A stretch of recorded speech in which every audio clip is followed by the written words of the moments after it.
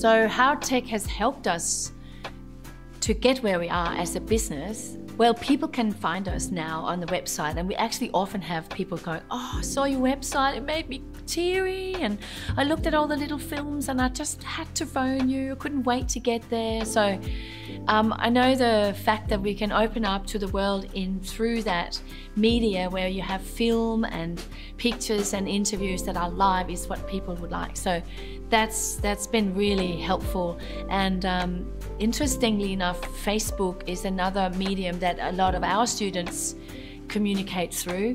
It's changed again the last year or so. However, if I phone someone, email someone, text someone, or send a Facebook message, where I get the first response is Messenger, Facebook Messenger. Or if I send them a text, I might get something back. If I send them an email, maybe, maybe not. So it's an interesting world.